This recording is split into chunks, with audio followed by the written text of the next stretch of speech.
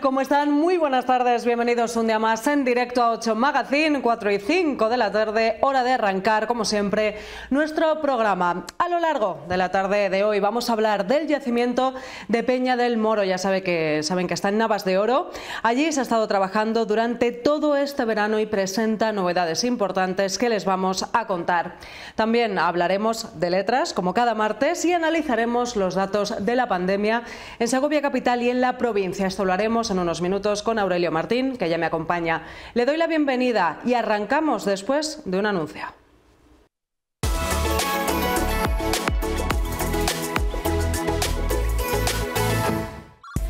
Segocer Porcelanosa.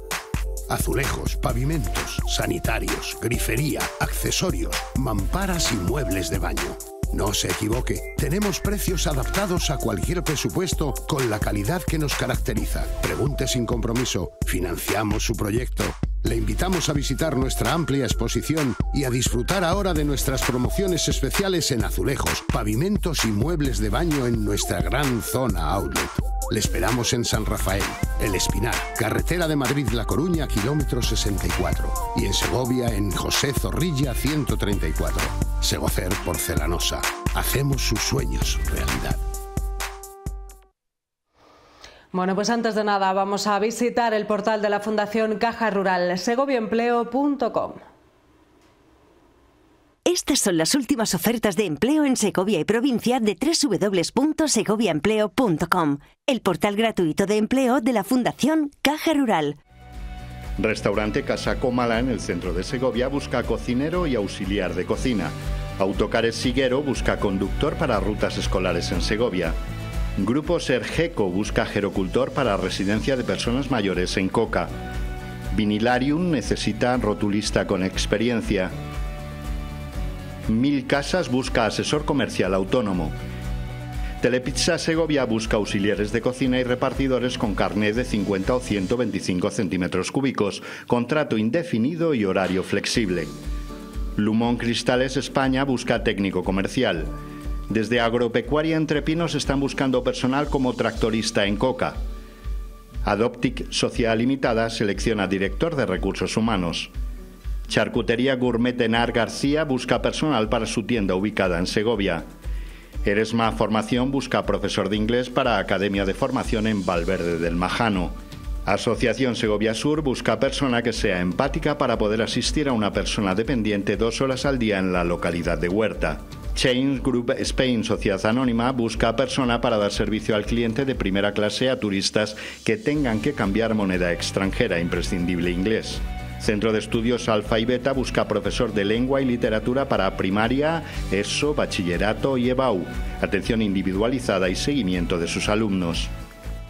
Y recuerda, tanto si buscas trabajo como si quieres publicar una oferta, entra en Segovia Empleo, el portal de Caja Rural.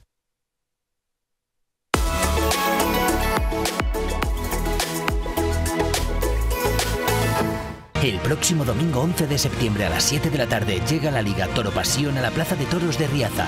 12 héroes del recorte se enfrentarán a un serio lote de novillos de Toro Pasión. Recortes, quiebros, saltos, emoción, valor y riesgo con los mejores especialistas de España. Peta, Use, Misu, Oscar Calvo, Jorge Gómez, Zorrillo y muchos más. Recuerda, este domingo la élite del toreo a cuerpo limpio regresa a Riaza. Que no te lo cuenten.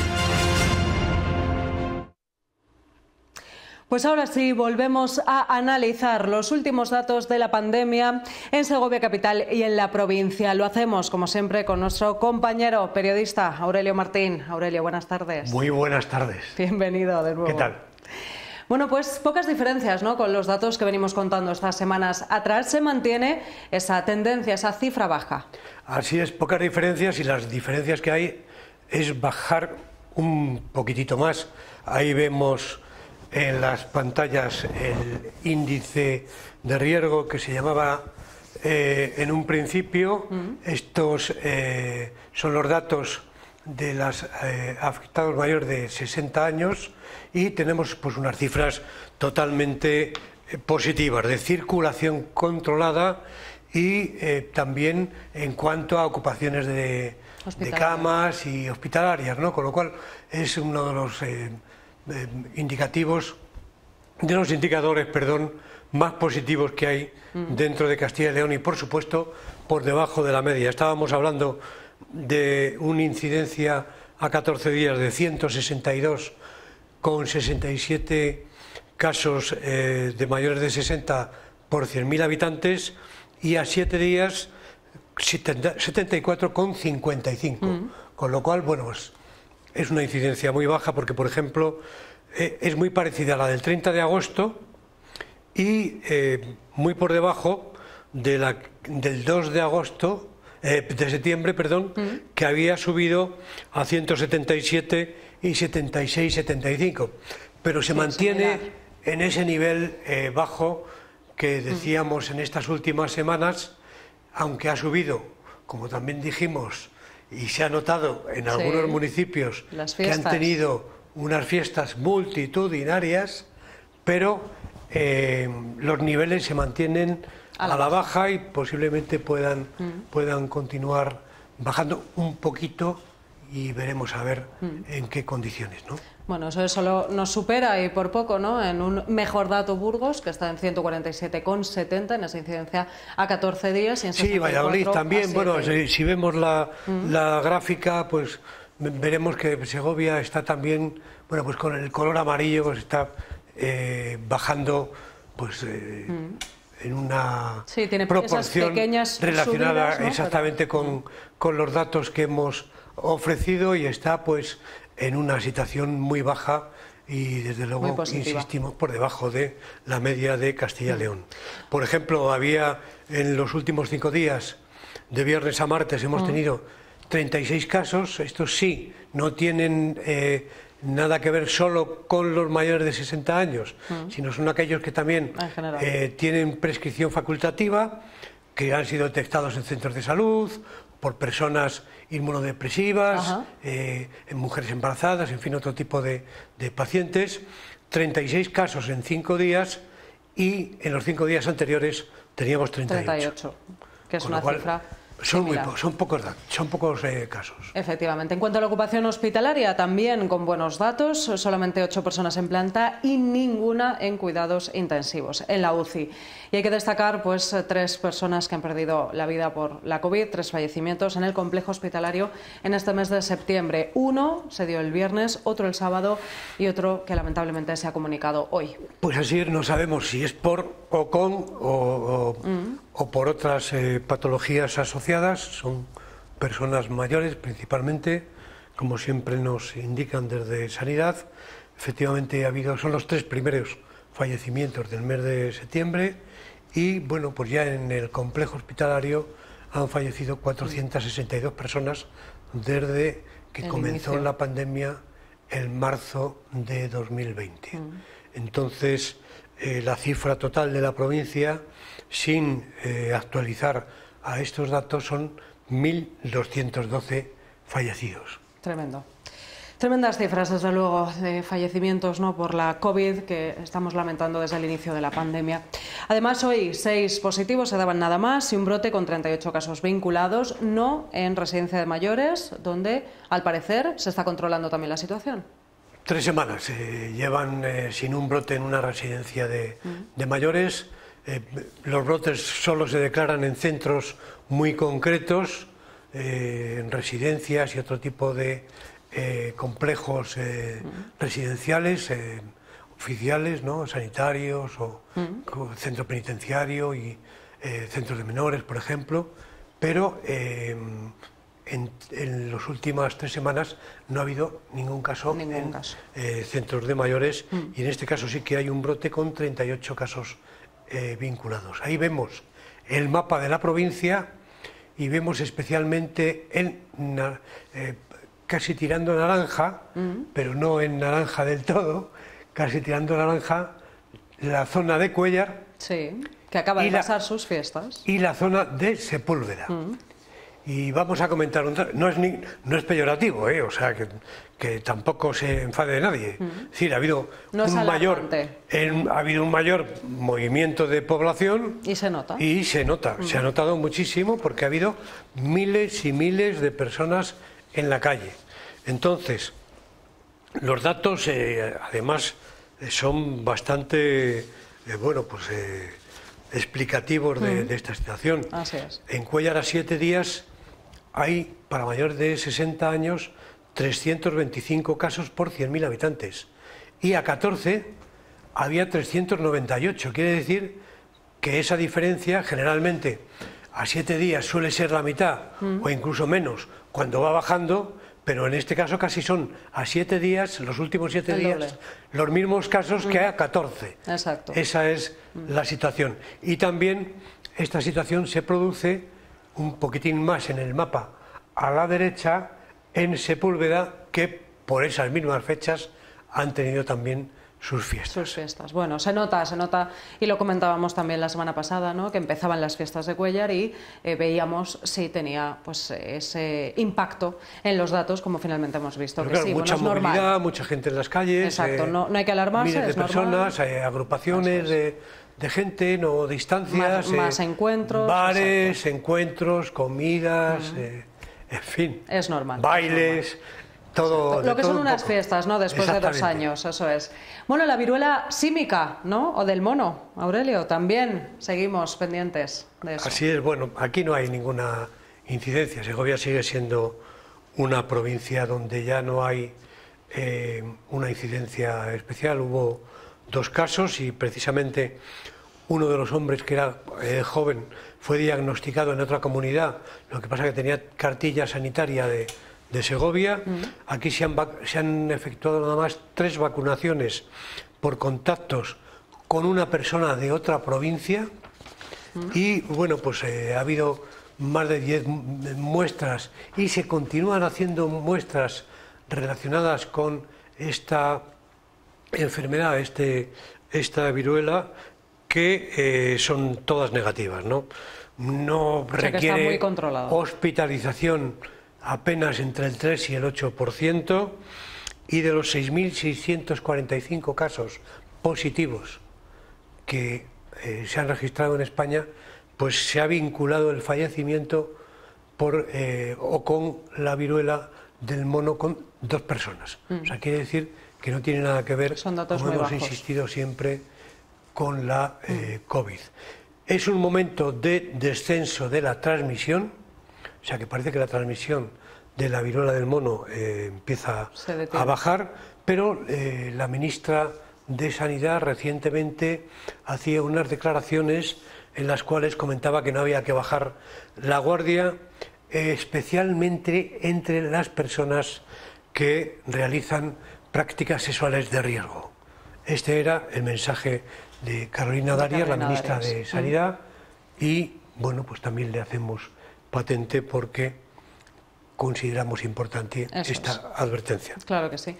Bueno, además, eh, la ministra de Sanidad no es la única declaración que ha hecho, también ha hablado sobre esa cuarta vacuna, esa nueva estrategia de vacunación que esperamos para el mes de otoño en cuanto al coronavirus. Así es, ya lo llevamos advirtiendo durante sí. eh, muchos, muchas semanas. Eh, ayer precisamente Carolina Darias anunció que el lunes, o sea, por ayer mismo, comenzaban a llegar 10 millones de vacunas, vayan preparándose el brazo, 10 millones de vacunas eficaces frente a las variedades de Omicron y que eh, iban a empezar a inocularse cuando eh, tengan el visto bueno de la Comisión de Sanidad Pública. Adelantaba también que eh, empezarán a administrarse entre mayores de 80 años y personas ingresadas en residencias de mayores, le seguirán personas mayores de 60, a partir de ahí hacia abajo, y que hacia el 15 de septiembre la Comisión de Salud Pública decidirá el calendario De vacunación. de vacunaciones. No quiere decir que sea el 15 de septiembre cuando comience la vacunación, pero posiblemente en octubre, como hemos venido diciendo. Sí. Y no es la primera vez, eh, empezaremos el descenso desde los mayores a, a A los, más de menor edad mm. para esa cuarta dosis con vacunas adaptadas ya a las nuevas variantes, Variantes. de la Omicron. ¿Para, ¿Para qué? Pues para afrontar un otoño y un invierno donde la estacionalidad es Afecta. más favorable a la transmisión del virus. Exacto, siempre se dice, ¿no? y así lo establecen los expertos, que el calor ayuda precisamente, por eso también en verano vemos unas cifras un poco más bajas, ¿no? a que esa transmisión del el coronavirus sea menor que los meses sí, porque es estacional y en verano... Algo similar a la gripe. Sobre todo, aparte de eso, eh, también se ventila mucho más, mm. eh, se está mucho más en la calle, menos en sitios cerrados, en fin, hay otro, otros modos de, vida. ¿no? Lo que sí que se mantiene, según la ministra, es el uso de las mascarillas. Lo que eh, a los que vuelvan al cole de primaria infantil y a los padres de estos niños y niñas, eh, bueno, ya saben que no hay ninguna medida por la COVID en los colegios, en los centros de enseñanza, Veremos a ver qué ocurre, si hay algún tipo de transmisión, porque decíamos, ¿puede bajar aún más el índice de casos? Pues posiblemente la movilidad se ha terminado. Posiblemente entonces, al existir menos movilidad, mm. volver un poco a la rutina del día a día, bajen, desciendan los, los casos, pero pueden quizá tener una incidencia al alza ligeramente, ya no estamos hablando de una, de, una ola, una incidencia ligera por los contactos en las aulas y por esas concentraciones. También se ha aconsejado que se mantenga una ventilación, eso sí, más, eh, eh, mucho mayor mm. que antes de la COVID. Ahora también estamos en unas temperaturas que a lo mejor más mantener las ventanas abiertas es lo más lógico, mm. porque si no hace mucho calor y eh, bueno, pues esa es la, la circunstancia, ¿no?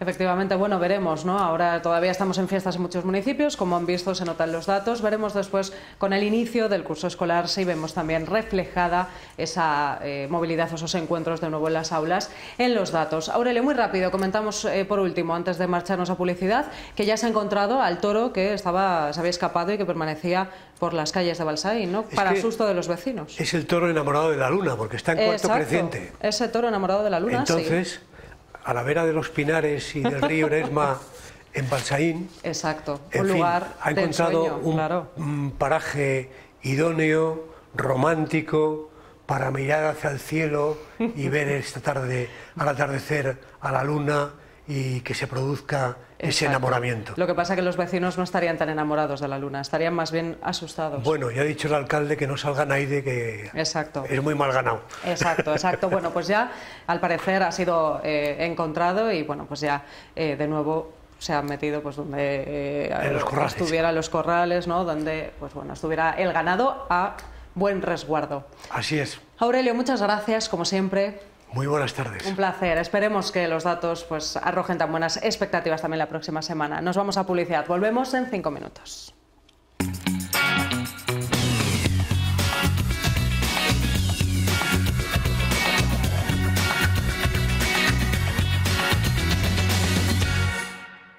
Bueno, pues ya estamos de vuelta a cuatro y media de la tarde. Continuamos aquí en directo en Ocho Magazine. Hablamos ahora de la segunda edición de Diverti Chef. Quédense con este nombre.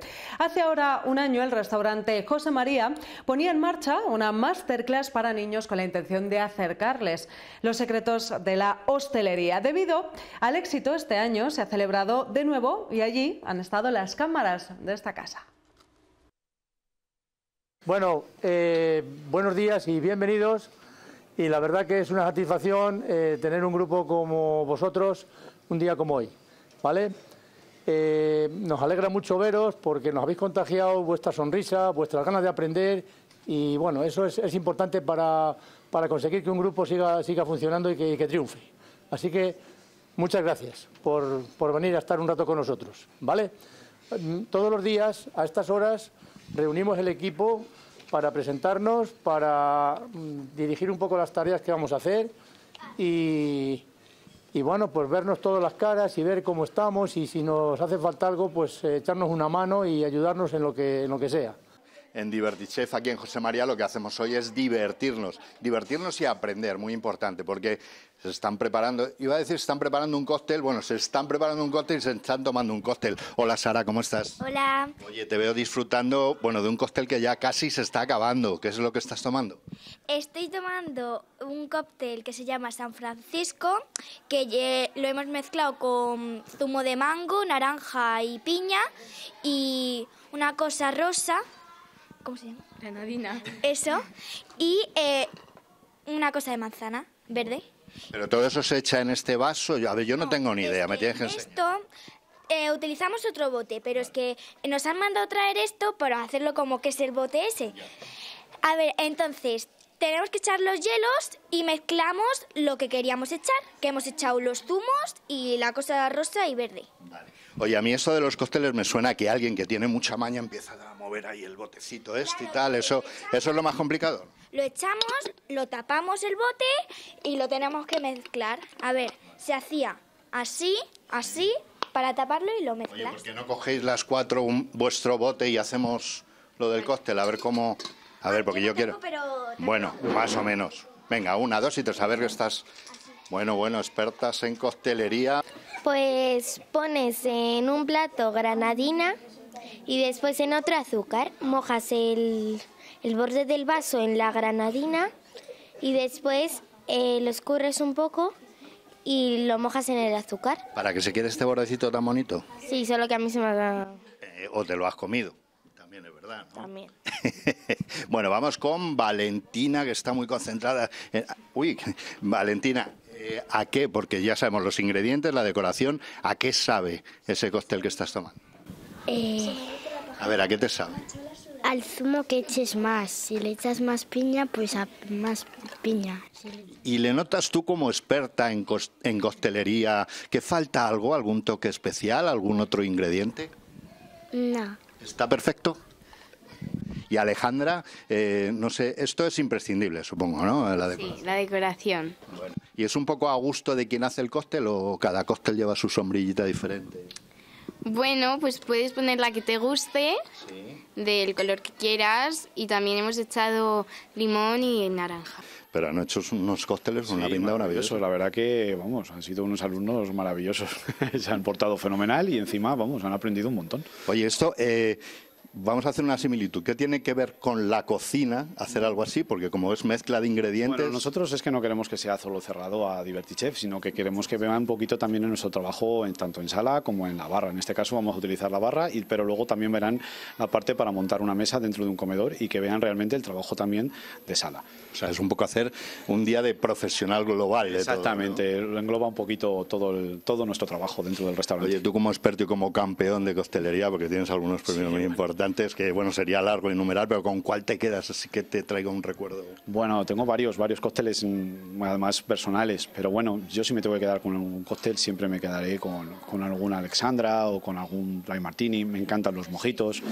Bueno, siempre tenemos ahí alguno especial. Y lo del movimiento que hemos visto a las chicas probando, eso es, pero eso es fundamental, ahí está un poco el secreto. Sí, sí, tiene, que, tiene que ser para fusionar realmente el hielo que tenemos dentro de la costelera.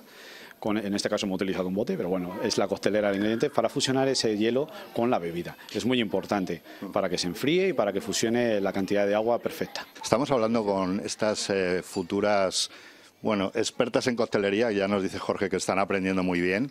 ¿eh? Y decía yo que si esto es el cóctel para futuro, es decir, para que estas nuevas generaciones las metamos en una costelera y salgan buenos profesionales. Pues yo creo que sí que hay, hay herramientas, hay madera para ellos. Por lo tanto, yo creo, creo que van a salir muy buenas cosas en el futuro, sobre todo en el mundo hostelero. Eh, mejor que nunca hay posibilidades de formación y espero que todo esto, esta falta que ahora hay en toda España y parte de Europa, se convierta en algo, en esa coctelera maravillosa que salgan futuros profesionales bien formados. El nombre va muy bien porque es Divertichef y evidentemente estamos viendo que se lo están pasando en grande. Escuchamos desde aquí los comentarios en la cocina que ahora iremos para allá. Un poco es enseñar divirtiendo, ese es el nombre. Bueno, creo que es la mejor forma fórmula, efectivamente, nada que sea como obligado, sino más bien que sea como pues una forma de pasarlo bien y a la vez eh, ver las, las cantidades de, de, beneficios, de bondades, de virtudes que tiene la hostelería. Es tan bonito el comunicarse continuamente y hacer feliz a la gente que creo que todas esas cosas sí que hay que tratar de transmitírselas y después el aprendizaje ya viene más fácil. Primero hacérselo fácil, como que es algo maravilloso, que van a ser felices haciendo ese trabajo. Me han dicho incluso que tienen una reunión de trabajo, un briefing con, con los profesionales de José María. Bueno, claro, eso es una cosa que tienen que ver, no creo que es muy,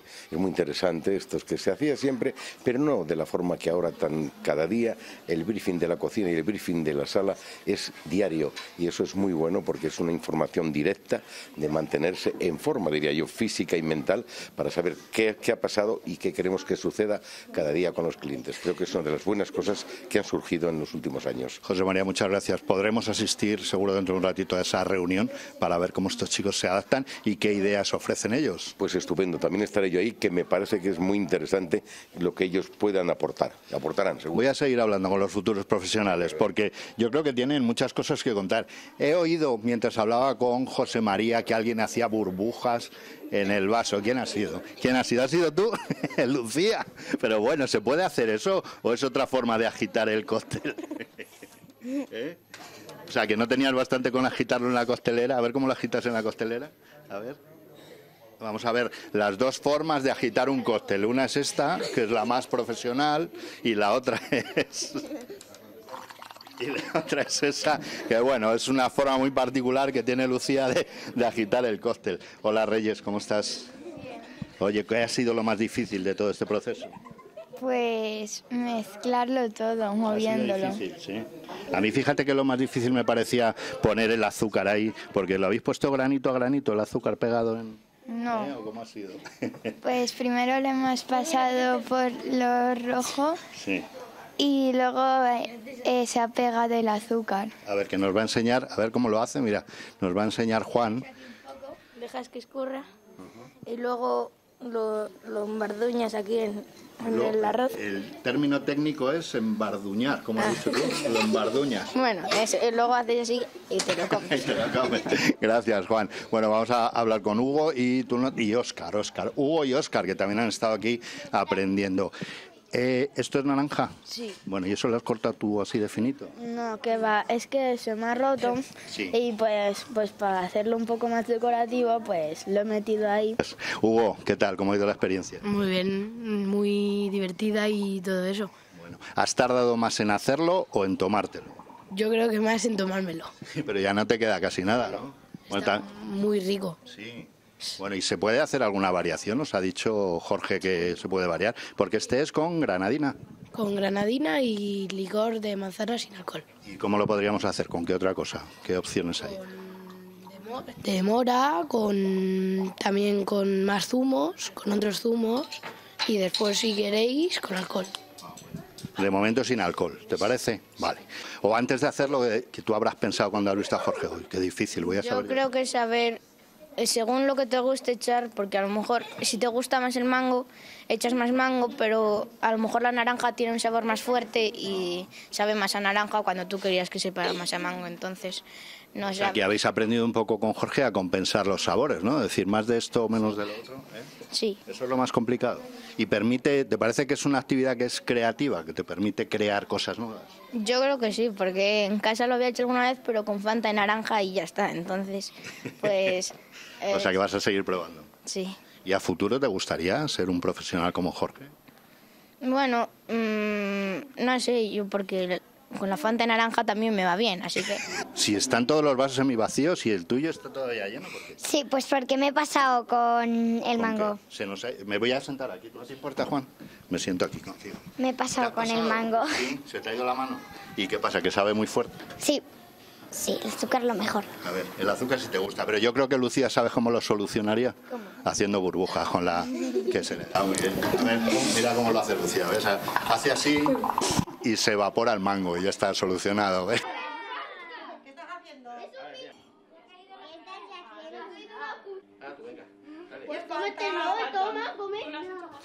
José, maestro, ¿qué tenemos aquí haciendo a los muchachos? Pues están practicando con la crema pastelera, para utilizar la, la manga que es, es, parece, es más difícil de lo que parece. Cuando lo vemos hacerlo a vosotros parece facilísimo, Sí, pero no, después de mucho tiempo sí, pero... compruebo que ellos lo hacen bien, seguro si me pongo yo lo hago peor. Pero, pero bueno, de, es- de esto que vemos, ¿qué tiene que salir? ¿Cuál tiene que ser el resultado? Bueno, la, la idea es que rellenen la tarta. Poner un, un La idea bizcochito. sería, este es el resultado que tenemos que decir. Esto es gracias a la magia de la tele. Tenemos que decir que lo han hecho ellos. ¿eh? Y es verdad que lo han hecho, que han cual. venido. Y entonces eso va dentro de esa tartita. Correcto. ¿vale? Veo que felicidades, Alex. ¿Es el cumpleaños de alguno? De, de este pequeñito. Alex, felicidades. Felicidades. ¿Es tu cumple? Sí, Bueno. o sea, no. ¿Eh? No. Pero, pero te ha salido muy bien, ¿a que sí? Eres un campeón. ¿Chocas la mano? ¿Cómo la chocamos? A ver. Ah, sí, muy bien. Felicidades. Venga, a trabajar. A trabajar. Bueno, en Rocío, los veo emocionados y divertidos. Hablaba antes con tu padre, decía, el nombre no puede ir mejor. Estamos en cocina, trabajando y están súper divertidos. Sí. ¿Cómo va esta segunda edición? Muy bien, hay niños que repiten de la primera, hay cuatro o cinco que repiten, con lo cual sí que es verdad que hemos cambiado los talleres que hicimos el año pasado para también sorprender a los que repetían. Hay niños nuevos que están encantados, con lo cual, bien, han venido a las nueve un poco dormidos, todo hay que decirlo. Ya vamos preparando a los profesores para el viernes, porque estaban, les ha costado un poco despertar. Pero nada, en cuanto hemos empezado con la coctelería y a, a trabajar en cocina, ya se han despertado. Hacíamos el símil con tu padre allí de decir, esto es hacer un cóctel con las nuevas generaciones para que salgan grandes profesionales. Supongo que finalmente es acercar la cocina a todos los niveles, ¿no? Bueno, no podemos estar quietos, nos gusta siempre estar dinámicos y moviéndonos y creemos, pues el año pasado funcionó muy bien, hacer un guiño a los más pequeños, que al fin y al cabo son nuestros futuros clientes, con lo cual también es importante tenerles contentos y que vean lo que es un restaurante. Parece que está muy de moda todo lo que es cocina y demás, pero es importante que vean que, que un restaurante no es solo cocina, la importancia de la sala, la importancia de los camareros, que también hay que darles el valor que tienen. Y por eso ahora eh, se van cambiando un poquito de cocina, un poco de sala, coctelería, iremos ahora mismo a ver también los cochinillos al horno, que vean realmente lo que es un equipo, que todos somos importantes y que aquí todos estamos trabajando por, por un objetivo común. Y en esa reunión diaria que hacéis siempre y que ellos van a estar también. Sí. Igual aportan alguna idea. Bueno, pues sí, seguro que nos sorprenden, seguro que nos sorprenden porque llevan toda la mañana sorprendiéndonos. Que vean de- realmente desde que, desde que entra un cocinero, un camarero hasta que se va, cuál es su trabajo interior. Ellos todos han venido, yo venido, todos han venido a comer, Pues pero interiormente no lo conocen, así que vamos a enseñárselo. Voy a meterme aquí en cocina con ellos. A ver, eh, vamos a ver qué nos cuentan. A ver, me han estado contando los mayores, que yo no sé si saben mucho de esto, que había que meter crema. Pero alguien que me cuente aquí, que sepa, un buen repostero, ¿quién me lo cuenta? Jorge, cuéntame qué estáis haciendo. Pues estamos haciendo una tarta para el cumple de Alex. A ver. La L, La televisión. La 8. venga, lo dejamos ver en la tal. 8 para que no sea complicado, ¿vale? La ocho. La 8. Ahí está, muchas gracias. Sabe bien. De nada. Bueno, os explico un poquito. Este es el plato principal del restaurante, ¿vale? Es el plato que más se vende y es el plato principal. De hace muchos años es el cochinillo. Entonces, aquí es donde se elabora el cochinillo, ¿vale? Está hora y media boca arriba y hora y media boca abajo, a unos 180 grados. ¿Vale? muerto. Está muerto desde que lo han traído. A ver. Vienen por la mañana. Vienen por la mañana prontito, entonces nosotros lo que hacemos es abrirlos, abrirlos aquí, A ver si lo abrís con un plato. ¿eh? No, los abrimos con un cuchillo para romperle la columna vertebral, ¿vale? Así, se les abre así para que se abra. Entonces. Cuando, cuando lo ponéis a un plato, le dais la vuelta y le cortáis con un plato. Sí, pero eso luego ya cuando está rematado, Yo fui a visitar la granja de los ¿Tú has ido a los visitarla? cochinillos. Muy bien. Sí, ¿Y los has visto los cochinillos allí sí vivos? con, mis, con mis padres, con mi madre y mi padre. Que os vamos a dar una chapita donde pone juntos somos más. Veis que los compañeros lo llevan todos aquí, ¿vale? Luego la ponéis y hacéis el delantal, ¿vale? Y juntos somos más. Sí, Es fácil, ¿no? ya, ya. Lo que, lo Me que lo no quiero, lo que no quiero es que os pinchéis. ¿Vale? Gracias. Nada. Muy bien. A ver, ¿todos tenéis? Juan, ¿cómo es? Vale, a ver. A ver, mira, ven, que te lo ponemos. Mira qué chulo, ¿eh? Qué bien. Ahora justo somos más. ¡Ole! ¡Ole! ¡Ahí! ¡Muy bien! Ahora chicos, mira, ponemos aquí la mano. Venga, chicos, venga. Aquí. Venga, venga. Juntos, Vale. ¿Cuántos años cumple? ¿Cómo ha ido?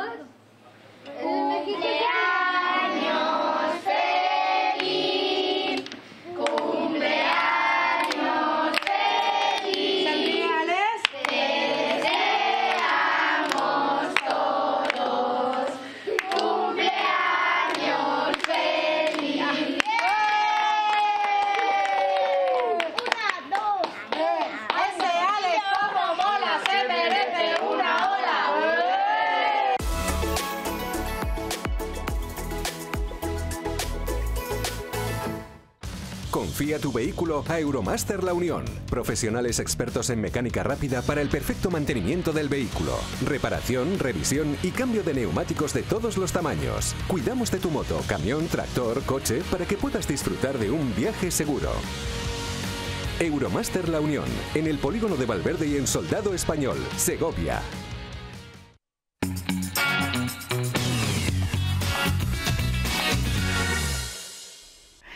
Bueno, pues vamos a hablar de letras. Felicidades a Alex, por cierto, ese chiquitín que había participado en el Diverty Chef en el restaurante José María. Pepe, buenas tardes.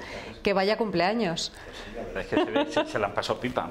Quien pudiera, quien pudiera. Ya lo quiero.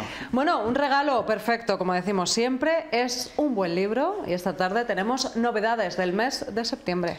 Sí, la verdad es que, que siempre durante el verano eh, hay una pequeña laguna de las editoriales, eh, pues eso, desde mediados de julio a agosto prácticamente hay sequía general y Mm. tal, y bueno, Están preparando, ¿no? están preparando, hemos terminado ya con la Feria del Libro de Madrid, casi en junio, bueno, con las distintas ferias, los autores y las editoriales ya han trabajado y han sacado sus escritores más, más Claro. importantes y siempre hay como una pequeña vacío. Y, y este año hemos empezado septiembre y además de una manera Fuerte. consistente, fuerte. Bueno, pues vamos es a sí. Empezamos- Eran algunas de las más esperadas, ¿no? Las que Eso tenemos aquí es. esta tarde. De las novelas que, que más van a, pues eso, para mm, este otoño con vistas a las navidades, ¿no? Ya las editoriales empiezan a buscar ese momento importante, que es el, el momento, como los días que más libros se venden en todo el año, que son las navidades, que más regalos se hacen. Entonces ahora ya es como un pequeño recorrido, ahora empiezan a presentarlos, a anunciarlos, a hacer presentaciones en distintas ciudades, para que justo para diciembre están ya en lo, en lo Mm. más alto. Va a haber autores muy Saca Pérez Reverte, nueva novela, Mm. eh, Isabel Allende la acaba de sacar, aquí hablamos de Falconer, de Megan Mau, la verdad es que va a haber autores y títulos muy, muy, esperados. golosos, muy esperados. Pues vamos a empezar, Y Pepe. empezamos, como no, con la última novela de Megan Maxwell. Se puede decir de Megan Maxwell que es la autora más vendida del mundo a nivel general, o sea, parece mentira, ¿no? Mm. Pero, pero es un tipo de, de literatura que ha sabido enganchar, que además gusta, en un principio empezó gustando sobre todo a mujeres, pero ahora lo leen prácticamente, yo tengo clientes, eh, amigos y lectores que vienen buscando las novelas de Megan Maxwell porque tienen esa, mm, ese humor, es, un- es una ironía que además siempre mete un poquito de, un poco de, de- de erotismo, ¿no? de picardía en, en todas sus historias y ha sabido enganchar y hacer disfrutar a muchísima gente. Eh, en esta última novela, Olvido Olvidarte, es la historia de cinco amigas que estudiaron en Madrid en los años 60 juntas y habían, se habían desconectado por cada uno vive en un- distintos puntos del mundo hasta que una de ellas se va a casar, entonces Ah. se juntan y vuelven a reencontrarse. Pasa el tiempo, pasan 10 años y ha cambiado absolutamente toda la película desde el día de la boda, esos 10 años. La que se acaba de casar está a punto de separarse, la otra de las amigas eh, se ha aliado con el hermano de la novia, ya de, de la mujer, o sea, es un, un cambio de cromo, por decirlo vida, de alguna ¿no? manera, lo que es la vida, pero de una manera contada muy amena, muy, muy divertida y, y el, y el día a día que nos puede pasar a, a cualquiera, con, con esa frescura que, que transmite Markle. Es verdad, ¿no? Es pensar eh, dónde estabas, ¿no? Lo que te había pasado hace 10 años, ¿no? Y todo lo que, bueno, por lo que has ido pasando y cómo te ha cambiado la vida, ¿no? Y cómo te podrá cambiar también dentro de una década más, ¿no? O sea, Totalmente cómo puede cambiar la vida, por ejemplo, en un grupo de amigos, ¿no? Sí, además el, el- eh, si a lo mejor lo que, como bien dices, si pasan dos o tres años lo tenemos todo como más cercano, pero, pero después de, de diez años ah, pues nos hemos podido casar, divorciar, volver a casar. Exacto. Hemos tenido un hijo que casi ya está en el instituto, o sea, cambia Claro. de una manera muy radical y, y aquí Meghan Markle sabe, sabe enlazarlo y además con el lenguaje que utiliza que es muy, muy ligerito y muy ameno. Y además haciéndonos pasar un buen rato. Vamos con Eso el es. siguiente, Pepe. Título importantísimo Los a de son los pecados de nuestros padres. Eh, la verdad es que llevamos varios años esperando novela de Salar. Una Salar son con Camila Lackberg, son como las dos autoras más importantes de- del género novelas y de la novela policíaca escandinava, Mm. que ha arrasado durante todos estos Sí. años atrás. Y, y bueno, esta, la, la última historia se vuelve con su protagonista estrella, que se llama Rebeca, es una policía. Y, y bueno, todo gira en torno a un cadáver que aparece en un frigorífico de un alcohólico que, que acaba de fallecer. ¿En un Y frigorífico? en un frigorífico, o sea, en, en una nevera. Sí. Y en esa nevera aparece un cadáver del padre de un boxeador de los años 60. Han transcurrido, eh, pues eso, prácticamente eh, 40 años desde que desapareció esa persona, el padre de un boxeador muy famoso. Y a partir de ahí es un thriller de los que son 700 páginas Y no que, puedes parar que no puedes parar porque te va mezclando, te va mezclando lo que le pasó con la actual situación política en, en, en Escandinavia, o sea, bueno, te, te va mezclando un poco Actualidad y- muchísimos y pasado, géneros ¿no? y te entretiene de manera bestial. Pues nos lo apuntamos también, Pepe. Vamos con el siguiente. Me gusta a mí mucho la novela policíaca Sí. así escandinava. Y sobre sí. todo muy es, es un ambiente distinto, Sí, no es como más y aprendes gris. mucho, eh, lo hemos Sí. hablado otras veces, ¿no? De viajar a través de los libros, pues aprendes mucho de, de esa cultura completamente distinta, de esa manera también de ver la vida, ¿no? En un país, pues bueno, eh, que si Mm. pensamos que aquí hace frío, ¿no? Pues bueno, un país, ¿no? Una zona, eh, pues eso, completamente distinta, ¿no? Más fría, eh, también de comportamiento. Pepe. Totalmente, y además que sí que creemos que, que es una sociedad muy avanzada, que, que es verdad, que no que la educación, la economía, Sí. el trabajo van todo por delante, y sin embargo son tienen una, una cierta mente oscura, o sea, Exacto, sí, complicada para, para nosotros, para Difícil, occidente, difícil de totalmente. Vamos Eh, siguiente, otro gran libro, otro autor, La Narropadura, es el escritor cubano más, más vendido, ha sabido también integrarse en la manera de contar las cosas aquí dentro de la literatura española. Y esta es una novela en la que nos va también, eh, nos va a llevar a Cuba cuando Obama intentó romper el- lo que era la, la dictadura, intentar abrir un poco Cuba, la mentalidad de Cuba, con Fidel, pues justo en ese momento está todo, todo el país pendien- pendiente de la visita de Obama y aparece uno de los dirigentes cubanos muerto. Eh, Padura tiene un protagonista, como íbamos al igual que Rebeca Nasarlason, que se llama Mario Conde, y tiran de él para ayudar un poco a investigar. Entonces, claro, tiene el problema de, de toda la policía, todo el país pendiente de la visita de Claro. Barack Obama, esa posibilidad de libertad del pueblo cubano, ¿no? de, de romper todas las barreras que han tenido, y a la vez aparece este es dirigente fallecido y a las pocas semanas otro. Entonces, bueno, es una novela también, un thriller ambientado en, en- en la Cuba así prácticamente ac- actual, muy, muy, Muy muy aconsejable. Pepe, pues vamos ya con el Sí. último. Terminamos con estas novedades de septiembre. Eso es. Con el de Alfonso Falcón. Con Alfonso Otro Falcones, grande. Otro grande, otro de los, de los importantes. Eh, puede ser el escritor español más vendido dentro de- del género de la novela histórica.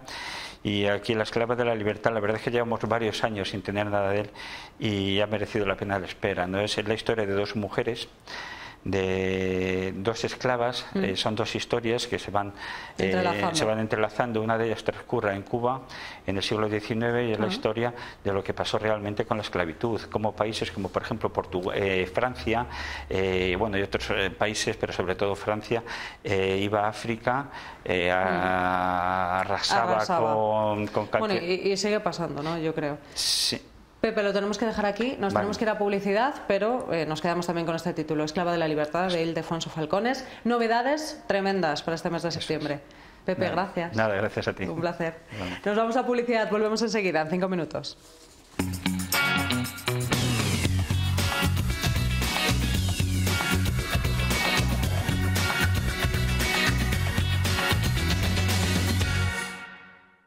Casi las 5 de la tarde seguimos aquí en directo en 8 Magazine.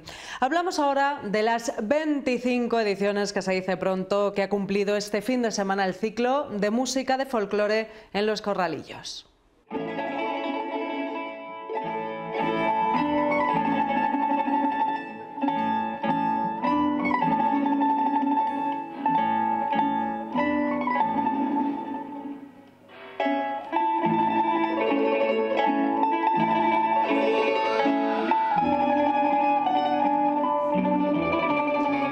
Cita que cada mes de septiembre lleva a estos rincones de la ciudad acordes tradicionales de la mano de la Asociación Cultural Plaza Mayor. Del 2 al 4 de septiembre, los corralillos del Patín, del Rastrillo y de San Sebastián han acogido conciertos de Segollanos, Carmen Cordero y también de La Tuna de Magisterio. Desde sus comienzos, en 1997, han pasado por este ciclo más de 70 grupos representando el folclore nacional, incluyendo incursiones internacionales de Cuba, de México y también de Argentina.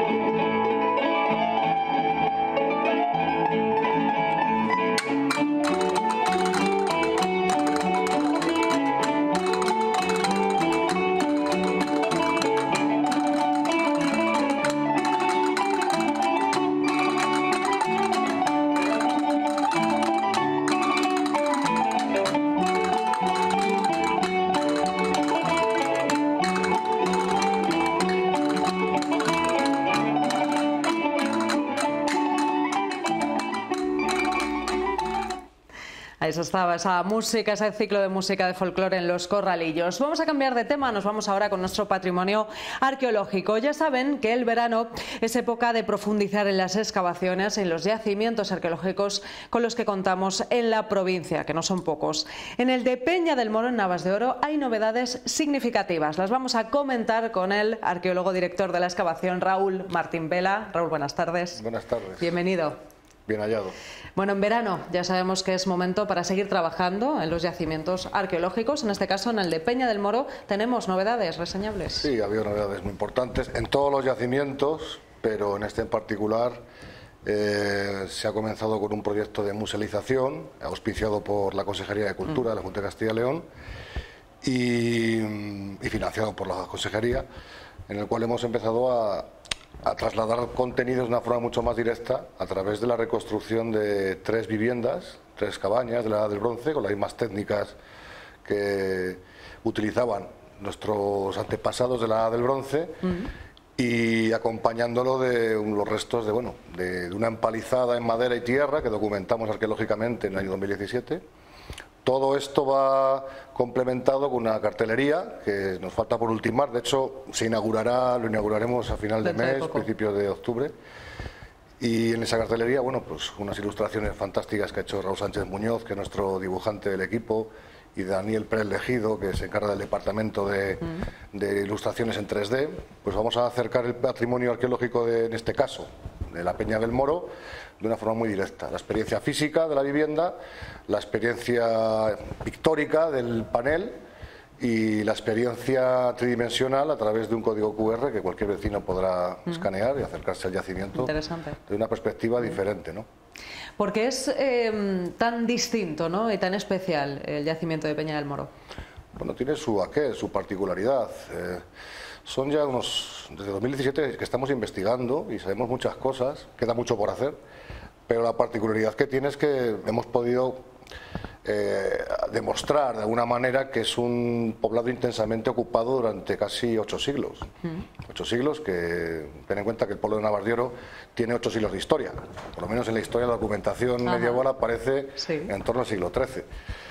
Pues allí en la Peña del Moro, en lo alto, de una forma casi obsesiva, eh, han ido construyendo cabañas, viviendas de diferentes tamaños y plantas, diferentes contenidos también, a lo largo de estos ocho siglos, lo que nos permite pues eh, reivindicar un yacimiento especial en el sentido de que nunca se había encontrado algo igual. Similar. Que lo que nos gusta a nosotros desde el equipo es que otros compañeros por favor encuentren algo parecido para poder intercambiar cromos Claro.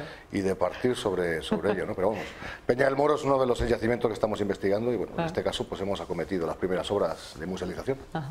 Bueno, enseguida se podrá visitar ¿no? y podremos vivir de nuevo esa experiencia ¿no? de tantos eh, siglos atrás.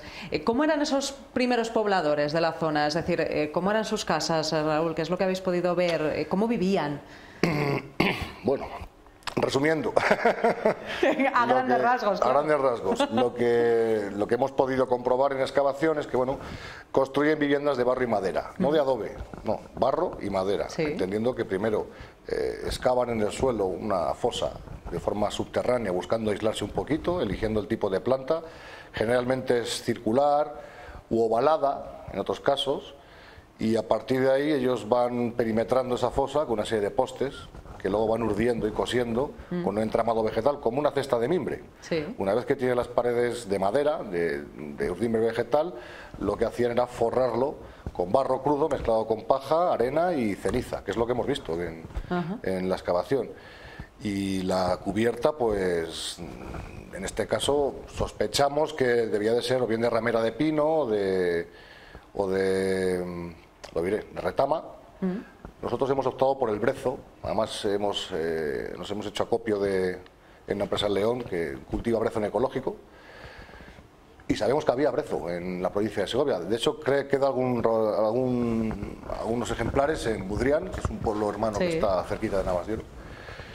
Y básicamente es lo que hemos podido rastrear. Luego los contenidos, bueno, pues dependiendo del tipo de vivienda o quien viviera en ella o la función que tuviera, pues se le daba un uso u otro y contamos unos contenidos u otros.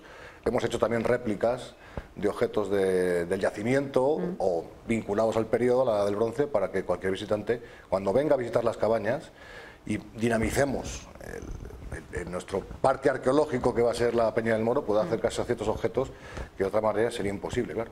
Esta no es una vitrina del museo y no se pueden tocar. Claro. Nosotros los hemos recreado para que ellos puedan acercarse directamente a la sensación que tuvo alguien en la edad del bronce al empuñar un hacha. de Bueno, bronce. viajar en el tiempo, efectivamente. Es también eh, un poquito de vuestro trabajo, ¿no? El poder viajar en el tiempo y mostrárselo después a los visitantes, pues en este caso de Peña del Moro, en el que, por cierto, un yacimiento que se lleva trabajando en él desde hace muchísimo tiempo y decías antes, Raúl, y lo que queda todavía, ¿no? Por descubrir. Claro, es que habremos Es inagotable. el, el 2% del yacimiento, son dos hectáreas y es grande. Eh, sabemos muchas cosas, sabemos los orígenes, por ejemplo. Eh, llevamos dos años interviniendo al pie del yacimiento, donde hemos encontrado, parece que hay un pequeño asentamiento de la A del cobre, que es la fase anterior a la del bronce. Y que, mm, O sea que vinculado a lo que llaman el mundo campaniforme, que son las cerámicas con forma campanada, se suelen encontrar en eh, contextos de hábitat, de vivienda o también en tumbas.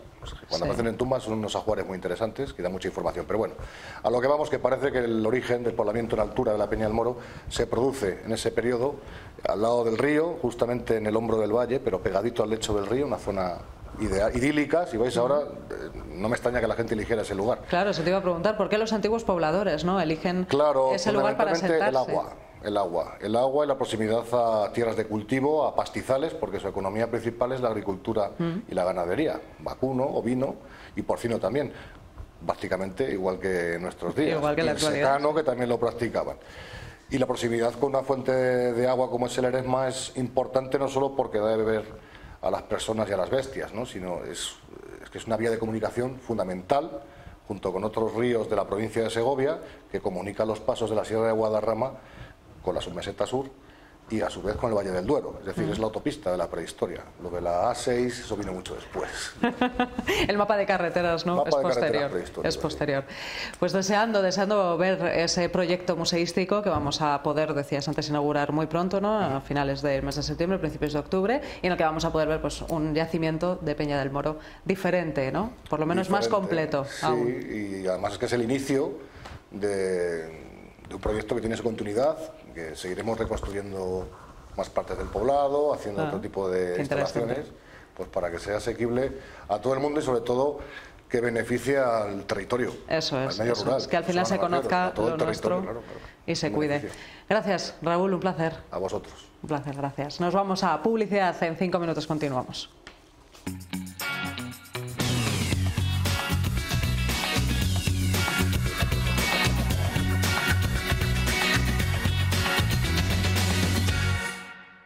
Bueno, pues así hemos llegado casi a las 5 y cuarto de la tarde. Nos vamos ya, se quedan con un nuevo viaje por la Segovia más desconocida, nuestra Segovia callada. Gracias por habernos acompañado una tarde más. Hasta mañana.